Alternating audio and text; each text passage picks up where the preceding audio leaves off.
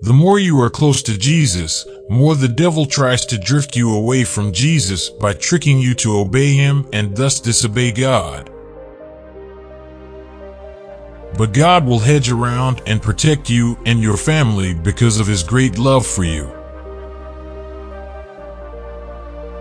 Dear sons and daughters in Christ,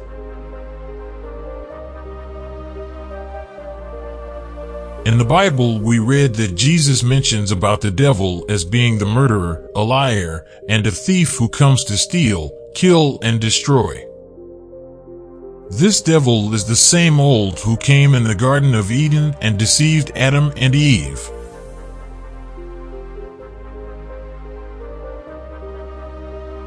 He has various names, dragon, Satan, and the old serpent.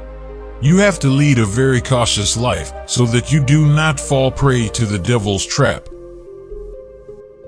That's the reason the Bible warns us, be alert and of sober mind. Your enemy the devil prowls around like a roaring lion looking for someone to devour. The more you are close to Jesus, more the devil tries to drift you away from Jesus by tricking you to obey him and thus disobey God. The devil came to me and tried to convince me. Once he asked me in a very cunning way, Mr. Dhinakaran, I appreciate your commitment to Lord Jesus and all the works that you do for him. But you need to pause and think for a moment as to what Jesus has done for you. You are still continuing in poverty and struggling with your finances. Not only that, but wherever you go to preach, people are against you. All the time you have some or the other problems and sickness afflicting you. You are praying for long and your legs have become so weak. Why such pain? Just say that you will serve me and see what I will do for you.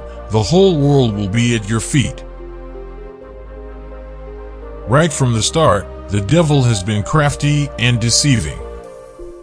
He will speak sweetly, wonderfully, and convincingly. So much so that at one point I said, it's a good deal, why not I take it? Just then, the Holy Spirit flashed before me that I'm walking towards the railway tracks to end my life. And the Holy Spirit reminded me that Jesus died for me and saved me and not the Satan. Only God can protect you and keep you safe from all the harms and dangers and from all the wiles of the devil. The Bible tells us that He will not let your foot slip. He who watches over you will not slumber. The Lord will keep you from all harm. He will watch over your life. Even the devil is aware of the protection that God gives to his children. That's why Satan says, The Lord has made a hedge around Job and his household. Job testified that, His lamp shone on my head, and by his light I walked through darkness, when the Almighty was still with me.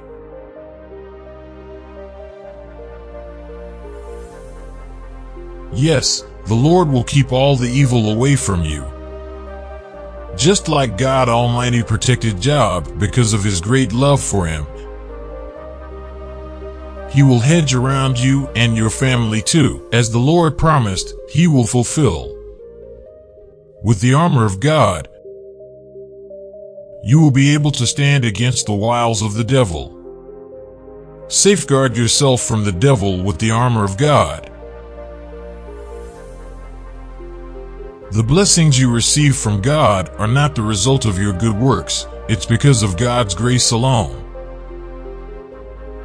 The problems that you face are brought about by the devil